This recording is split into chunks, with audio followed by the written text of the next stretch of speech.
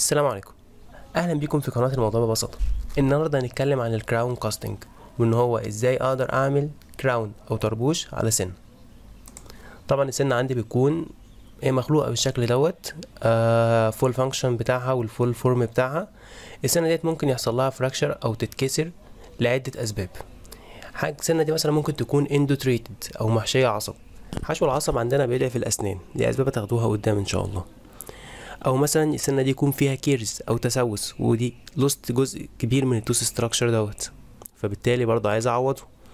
أو مثلا السنة ديت كانت آه العين ده كان بيعمل bruxism أو بيجز على أسنانه كتير. فالسنة ديت مثلا ما اتكسرتش بس آه حصل حاجة اسمها ال attrition أو pathological attrition إن السنة ديت حصل لها تآكل. فأنا عايز برضو إيه؟ أ restore السنة دي. أ restore السنة ديت مثلا عشان أ restore ال function إن العيان يقدر يعض تاني عليها. أو علشان أ restore biological إن أنا أقدر آه، أحافظ على بقية السن بقية ال tooth structure دوت ما يتكسرش آه، أو حتى أ restore ال esthetic إن السنة ديت مثلا في شكل جمالي هي واحدة من السنان اللي قدام. فبالتالي كل ما العيان يضحك يكون شكلها مضايقه فبالتالي بلجأ إن أنا أعمل آه، حاجة اسمها dental casting أو بالذات اللي بندرسه اسمه ال lost wax technique إن أنا ببني السنة ديت بال wax وبعدين بعود بحول ال wax دوت ل metal وال metal ده مثلا ممكن أحط بعد كده قشره قشره جمالية حاجة اسمها porcelain و veneer. خلينا ما نسبقش بس الأحداث وبسم الله نبدأ كده. إحنا زي ما قلنا عندنا السنة دلوقتي حصل لها fracture فاول خطوة بعملها كدكتور عندي في العيادة حاجة اسمها ال dental preparation أو ال tooth reduction preparation أو reduction إن أنا بنحت في السنة عشان تبقى بالشكل دوت. بحيث أفضي مساحة لل crown بتاعي. طبعا المساحة ديت لو صغيرة هيكون ال crown رفيع فبالتالي يتكسر. هنعرف طبعا تعرفوا بالتفصيل الممل بعد كده قدام إن شاء الله في المادة سواء materials أو المواد التانية. المساحة دي تكون قد إيه؟ باختلاف الأنواع ال- ال- ال alloys أو الخامة بتاعت ال crown اللي أنا هستعملها. أهم حاجة وأنا بعمل reduction بطلع حاجة اسمها ال finish line. ال finish line هو الجزء دوت في السنة. طبعا بيكون داير ما يدور حوالين السنة. وسميناه بال finish line لأن هو الجزء دوت اللي بينتهي عنده ال crown وبتبدأ عنده tooth structure أو بمعنى صح بيقف عليه ال crown ودوت بعمله بحاجة اسمها ال stones. طبعا تدرسوا كل الأدوات ديت قدام والسنة الجاية تعملوها بايديكم هتعملوا على اكريل هتعملوا reduction لمختلف الأسنان. تعرفوا كل أنواع ال reduction ومعظم كل أنواع ال finish line. ال finish line في أنواع كتير برضه تدرسوها قدام يعني. لا مفيش يعني ملاش لازمة أقول إن إحنا نتطرق دوت هنا دلوقتي. بعد ما أخلص ال reduction بتاعي ببدأ باخد حاجة اسمها ال impression أو ال dental impression آه ال impression هو بس الفكرة إن أنا دلوقتي آه ال reduction دوت عملته سنة المريض. هو في بقه سنة في بقه عملت لها reduction فبالتالي عايز أبعت للمعمل آه صورة السنة دي أو شكل السنة ديت عشان يبني عليها ويطلع لي طربوش very accurate أنا عندي محتاج الطربوش يكون accurate ومقفل كويس قوي علشان ما يخشش ال fluids جوه وتعمل لي recurrent caries فازاي بسجل شكل السنة؟ بسجلها بمادة بتكون آه قابلة للتشكيل. أو مثلا حاجة زي ال alginate بيكون عبارة عن بودرة ومية. هندرس كل الكلام ده قدام بالتفصيل جدا. في أصلا chapter فيه اسمه casting هناخده برضو بالتفصيل أو ناخد فيه الكلام ده بالتفصيل. إحنا بس مجرد آه بناخد نبذة عشان تساعدنا إن شاء الله في دراسه ال materials قدام لحد ما ناخد الشباتر المتخصصه في دوت. فزي ما قلنا أنا بجيب حاجة اسمها ال dental tray ال dental tray ال dental tray ديت عبارة بس عن زي حامل حامل بيكون مثلا معدن أو بيكون تك وبحط جواه ال impression material المادة اللي هي بتتشكل لسه ولما أحطها في البق أربع دقايق تقريبا وتبدأ خلاص تبدأ تنشف وتاخد شكل السنة ديت.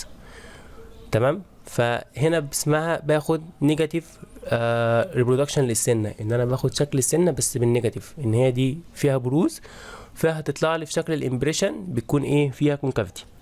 بعدين ببعت ال impression دوت للمعمل. المعمل بيصبه بيصب ال impression دوت آه بجبس.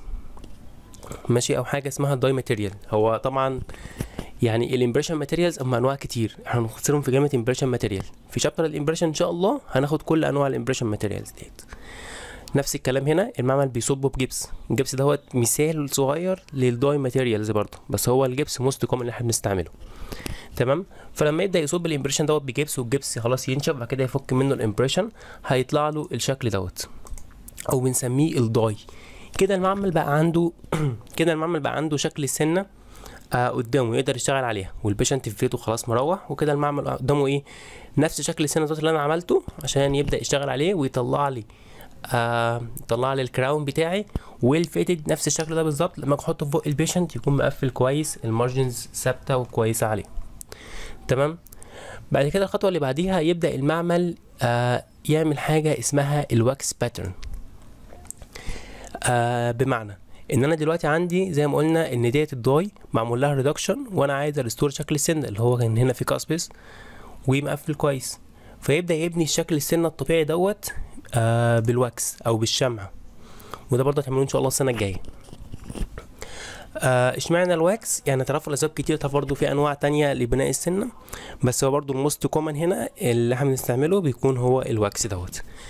يبدأ يبني سنة آه، بال wax آه، بال wax بتاعه ويقفل ال margins كويس عليها وطبعا ي restore نفس ال form أو نفس الشكل بالظبط. آه، يا إما ياخده من السنة الناحية التانية يا إما بيكون على شكل لسه ال dentition أنتوا درستوه. تمام؟ بعد كده. بنبدأ نعين ال wax pattern دوت بنشيله من على السنة بتاعتنا ال die بتاعتنا. كده إحنا بنينا ال crown دوت بال wax وعايزين نحوله ل metal. يبقى لحد دلوقتي إحنا كده عندنا ال crown دوت بس ب wax عايزين نحول ال wax دوت ل metal فهنعمل إيه؟ أول حاجة بنعملها بنعمل حاجة اسمها spruing spruing إن أنا عندي بحط ال wax pattern بتاعي دوت بمس- بمسك فيه wax تاني برضو بيكون واقف كده وشايله اسمه sprue تمام؟ وال sprue دوت بيكون شايله ال crucible former ما نتلخبطش don't panic آه كل الكلام دوت هنعرف ليه بالظبط في الف... قدام يعني في الفيديو دوت. تمام؟ فأنا كده أنا عندي ال wax pattern بتاعي. ثبت فيه حاجة اسمها ال sprue وده برضو بيكون wax وثبت فيه crucible former ده بيكون مطاط أو metal whatever مش مشكلتنا ال crucible former أو اسمه ال ال ال sprue carrier إن هو بيشيل ال sprue. تمام؟ وعندي في ال sprue بيكون في جزء wax تخين كده شوية دوت اسمه reservoir ال reservoir دوت ميزته إن هو هيحوش لي هنا metal أكتر في الحتة دي. وطبعا هنعرف كل الكلام ده بيجي give reason وهنعرف يعني بالتفصيل قدام. هندرس كل الكلام ده قدام بالتفصيل. الفكرة بس زي ما قلنا إحنا نعرف ال materials ماشية إزاي لحد ما ناخد ال chapter دوت قدام إن شاء الله. تمام؟ فكده إحنا قلنا عندنا ال wax بنثبت فيه حاجة اسمها ال sprue. ال sprue بيكون فيه جزء تخين شوية اسمه reservoir وكل دول بيتثبتوا في حاجة اسمها ال crucible former ودي ما بتكونش wax بتكون مثلا بلاستيك مطاط أو metal تمام كده؟ بعدين بنبدأ آه نحط حلقة حديد كده بنثبتها في ال crucible former الحلقة الحديد ديت اسمها ال cast ring ال casting ring الحلقة الحديد ديت أه بحطها علشان أصب جوه. يعني هو دلوقتي جوه بقى عندي فراغ ما بين الحلقة الحديد وما بين ال ال اللي إحنا لسه قايلينه من شوية اللي هو ال ال ال ال wax pattern وال sprue. تمام؟ الفراغ اللي في النص دوت أنا هبدأ أملاه ب investment material. ب investment material. عشان أبدأ أعمل زي قالب أصب في ال metal. تمام؟ هنبدأ نصب ال investment material بتاعتنا. في القالب دوت ونحاول ما يكونش فيه أي porosities أو فراغات هواء لأن دي تعمل لنا مشاكل في ال casting وبرضه هندرسها قدام بالتفصيل إن شاء الله. بعد ما اصب ال investment material كده أنا بقى عندي شكل إزاي؟ عندي شكل من بره لجوه أنا عندي ال casting ring بره جواها ال investment material جواها ال wax أو الشمع بتاعي سواء ال wax ال wax pattern أو ال sprue عنده reservoir تمام. فأنا كده عندي عملت قالب بس القالب ده من جوه مش مفرغ. عملت قالب من ال investment بس ده مش مفرغ. القالب دوت جواه لسه ال wax بتاعي. فأنا دلوقتي عايز اعين ال wax عشان افضي القالب دوت وأحط مكانه ال metal تفتكروا ممكن اعين ال wax إزاي؟ بالظبط هسيحه. فبحط ال connection ده كده كله في حاجة اسمها burn out furnace ما بيكونش الشكل دوت قوي بس يعني عموما أي حاجة بتطلع حرارة. ال burn out furnace دوت آه ميزته آه مجرد بس بيسخن ال wax أو بيسخن ال investment بتاعتي علشان يسيح لي كل ال wax اللي جوه دوت ويفضهولي ويخلي لي المكان دوت فاضي لل metal يخش فيه ويديني شكل ال crown بتاعي.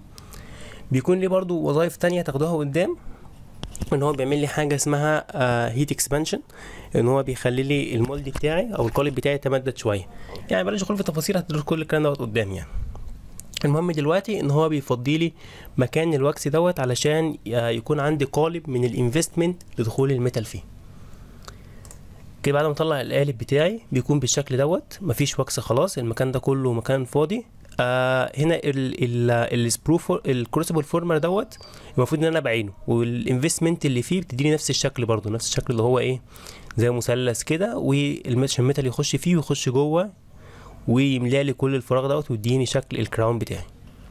فأنا كده دلوقتي إيه عندي القالب بقى قالب فاضي ومستعد أصب فيه ال metal. فقلنا ده اسمه mold أو القالب اللي هصب فيه تمام؟ آه هبدأ بعد كده أصب ال metal بتاعي. آه دوت عندي molten metal alloy عادية. آه وأبدأ أصبها في القالب بتاعي. تمام؟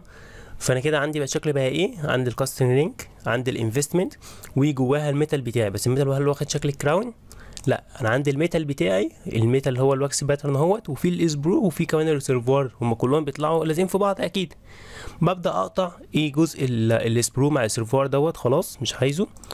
وبكده يبقى عندي خلاص ال crown بتاعي. بعمل له حاجة اسمها finishing و polishing لأن ال crown بيطلع بيكون شكله طبعا مليان irregularities آه عليه oxide layer آه ما بيكون شكله اللي هو الشكل اللي اللي هو بيكون ملمسه خشن مش ناعم. بعمل حاجة اسمها finishing و polishing إن أنا بلمعه وعشان أديله الملمس الناعم بتاعه. آه تمام؟ واحسن ال esthetic بتاعته احسن المنظر الجمالي بتاعه. طبعا ده أصلا metal يعني بيكون لونه metal آه هناخد قدام بقى إن إحنا ممكن نغطيه بقشور جمالية والكلام ده. تمام؟ فأنا كده بقى عندي ال final crown بتاعي. آه أقدر دلوقتي أركبه على السنة عادي. وهيركب وطبعا بيكون well fitted ال margins لازم تكون مقفلة كويس زي ما إحنا شايفين كده. آه وطبعا لازم يكون ما يكونش مثلا bulky زيادة إن هو مثلا يكون كبير كده شوية أو يكون deficient إن هو يكون مش واصل لحد آخر tooth structure يكون أقل من كده. وطبعا ناخد كل ال errors casting errors دي كلها برضو قدام. آه في فيديو أنا جايبه علشان نشوف الخطوات ديت بإيدينا بعد ما بعد ما فهمنا الفكرة نظريا يعني نشوف في المعمل فعلا آه الحقيقي إزاي الموضوع دوت بيحصل.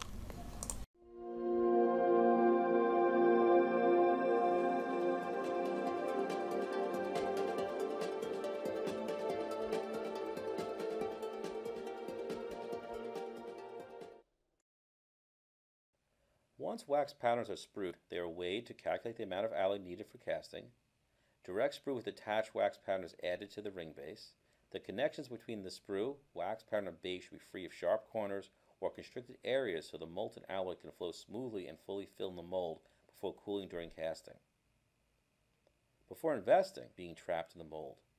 When filling wax patterns with investment, the wax patterns should not be touched with a spatula as separation from the sprue or base or breakage of margins can occur, making the wax pattern unusable. Once filled with investment, the ring is placed in a, in a pressure unit to further remove bubbles from investment, resulting in smoother castings. When the investment properly sets, the mold is removed from the plastic ring and placed in the burner oven where all wax gets eliminated and mold becomes clean of gases and residue so the molten alloy can enter the mold during casting. Once the hot molten alloy fills the ring during casting, the ring is placed aside to cool. Divesting starts with the opening of the ring with a hammer or mallet. Proper personal protective equipment should be worn. When breaking up the investment, the hammer should contact the investment at the metal button to prevent damage to the thin margins of the restorations hidden inside the investment. When recovered, the casting is sandblasted with aluminum oxide. When despruing, the separating disc is used to separate the casting from metal sprue. The surface of the metal coping is finished with stone or carbide burrs and checked for fit and accuracy on the master model.